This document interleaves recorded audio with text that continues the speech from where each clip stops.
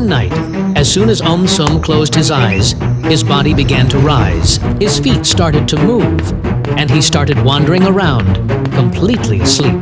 AumSum had become a non-stop sleepwalker. One night, his sleepwalking took him straight into the local amusement park.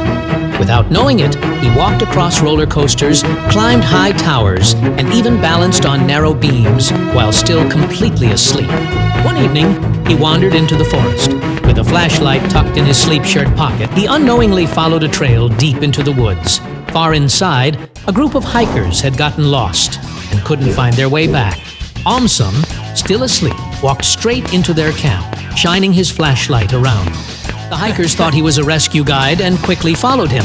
Step by sleepy step, AumSum led them out, walking over logs and around hidden puddles like he had a map in his mind. By morning, the hikers were safe and sound. News spread that AumSum the hero had rescued them in the middle of the night. Hmm.